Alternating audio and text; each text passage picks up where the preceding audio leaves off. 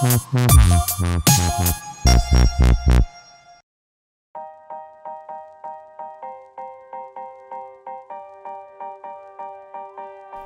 to all you shredders out there. The first snow has already fallen and the mountains are cooling.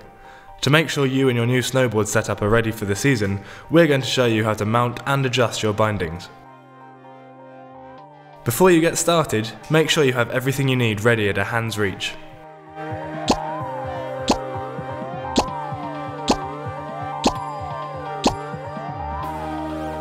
Got everything? Then let's get started. First, it's important to find out which foot you want to have in front, that is, whether you'll be riding goofy or regular. Stand up, keeping your feet parallel, and ask someone to gently push you. The foot you use first to catch your balance with is the foot that should be in front on your snowboard. In this case, Jake used his left foot, so he rides a regular stance. There are many different kinds of bindings. When you're choosing a pair of bindings, be sure to make sure they fit your board.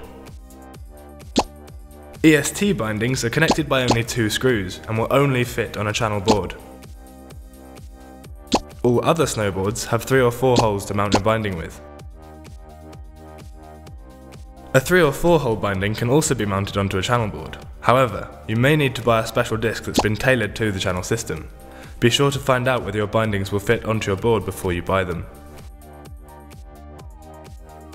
For the perfect fit and optimum power transmission, make sure your bindings are tuned to fit your boots. Put your boot in the binding and tightly close the ankle strap and toe strap. Make sure that there are no pressure marks on the boot. You'll get ideal power transmission when the straps are set to the middle, leaving at least 2 cm on each side.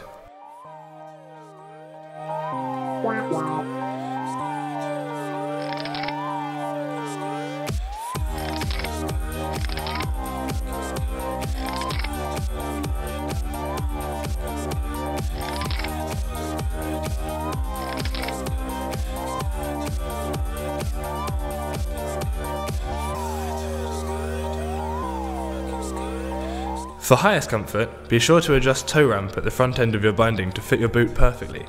Push the toe ramp forwards and backwards until it suits the shape of your front sole. You shouldn't feel any pressure on your boots when you're stood normally. As soon as you put some pressure on your toes, you should feel it. This is how you can tell that your boots are getting the perfect amount of support from your bindings. Generally, every binding has different settings, some bindings allow you to change the heel cup as well, which helps you center your boot in the binding. You can only adjust the high back once your bindings are secured to your board, so more about that later.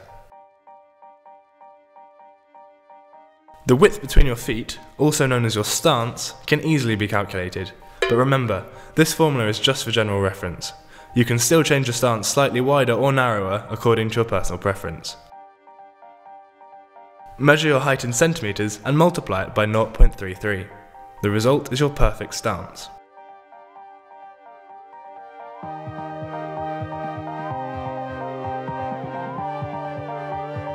Here's the formula for you to note down. Our model is 180 centimeters tall. This gives us a stance of 59 centimeters. Now, one of the most important aspects of mounting your bindings, the degree setting. This depends on your preferred shredding terrain. In powder, you want more of a setback, i.e. the bindings are set a bit further back to help you get more float. In the park, you want more of a duck stance to make it easier to ride switch. Our rookie, Jake, has his binding set for all mountain terrain, which means he has less negative degrees on his back foot.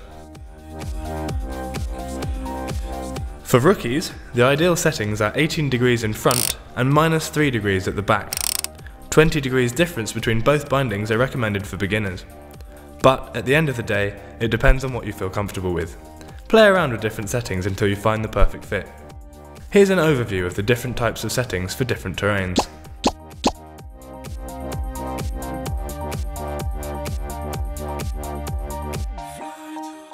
Now you know your stance, you can get everything ready to mount your bindings. Put the screws in the binding discs and rest your board on a flat, stable surface.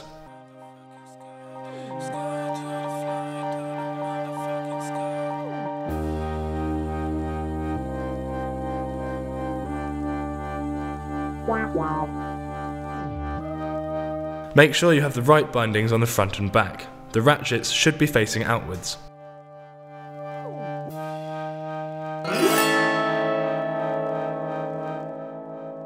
Look for the reference point on your board and use this point to mount your bindings with your calculated stance. Check if the bindings are placed centrally. If not, adjust them with the different holes in the discs. Once you've checked everything over, gently tighten your bindings. Take care to tighten the screws across from each other to make sure that you don't screw on the bindings slanting or accidentally break the fittings.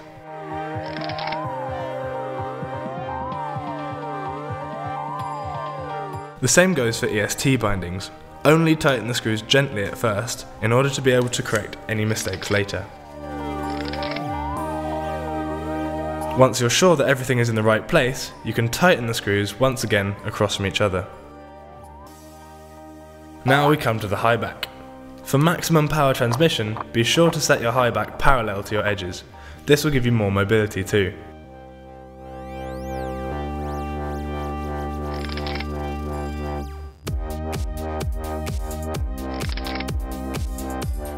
Next, you can adjust the forward lean.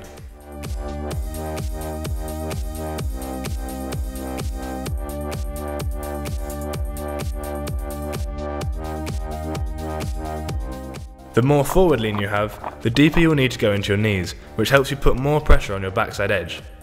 Forward lean is perfect for piste races. A more vertical high back is better for all mountain and freestyle. It will give you more mobility, the more vertical the high back, the more forgiving your bindings will be. So, now your setup is ready to hit the slopes. It's very important to make sure that you don't take all these settings too seriously. Play around with the settings and find out what you find most comfortable on your board. This tool is the perfect shred buddy, making it super easy to try new stuff. So keep on shredding!